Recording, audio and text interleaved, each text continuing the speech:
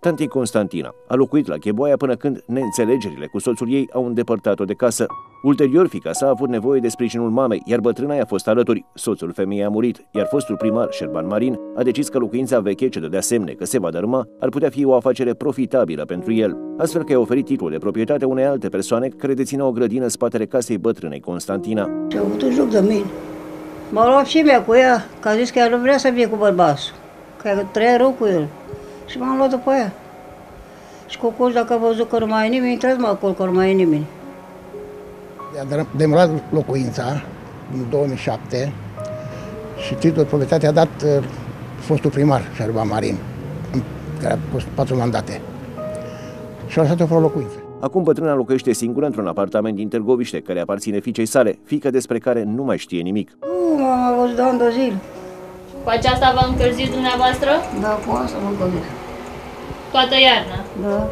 Trăiește dintr-o pensie de 340 de lei, din care cei mai mulți bani îi dă pe medicamente. Spune că facturile nu le plătește ea, pentru că oricum nu-i ajung banii, ci o nepoată. Aceasta mai trece pe la bătrână și aduce pâine pentru că femeia nu poate coborâ de la etajul 4 al blocului.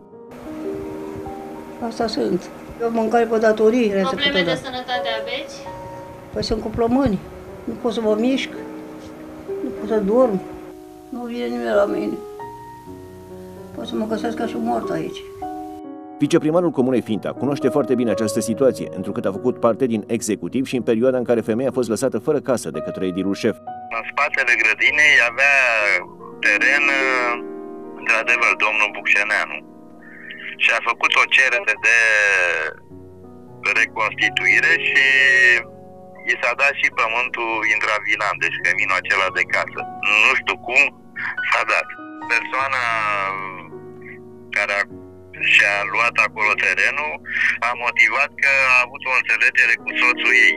Administrația locală recunoaște faptul că în trecut s-a făcut o nedreptate, însă acum actele proprietarului sunt în regulă, iar femeia nu mai are nicio șansă să-și recupereze proprietatea.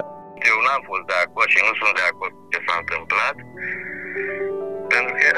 era dreptul femei, era legea care spunea că nu se poate atinge nimeni, chiar dacă a fost terenul lui Bușeneanu acolo, nu se putea atinge de căminul femeii, care era de 1000 de metri. Bătrâna este conștientă că își va găsi sfârșitul singură în apartamentul friguros în care locuiește, însă va pieri cu această supărare din cauza autorităților locale care calcă și pe cadavre pentru a-și atinge interesele.